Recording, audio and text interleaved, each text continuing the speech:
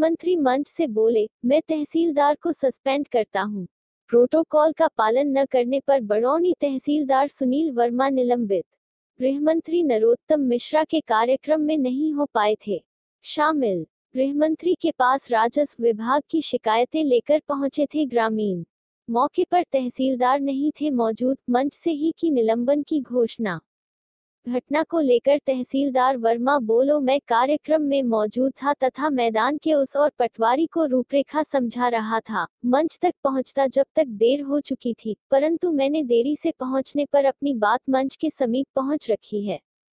गृह मंत्री आज अपने गृह नगर दतिया प्रवास पर थे तथा शिकायत पर समस्या के निराकरण के लिए मंच से तीन बार बोले, यहाँ का तहसीलदार कौन है? कहाँ है? किसी ने बताया वह यहाँ पर नहीं मौजूद है तो मंत्री जी ने नाराज़ होकर मंच से ही सस्पेंशन की घोषणा कर दी।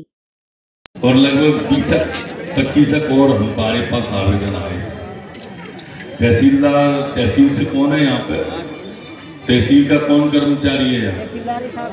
पीछे बुला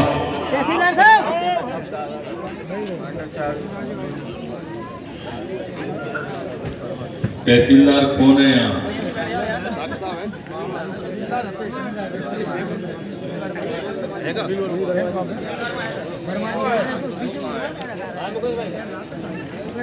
तहसीलदार साहब कहाँ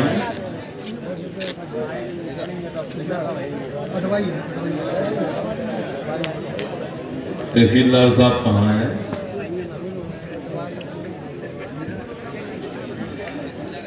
या कौन है चार्ज में तहसीलदार?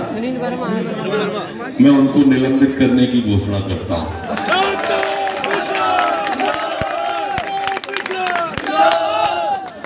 बाकी की जो सीएमओ कहा है?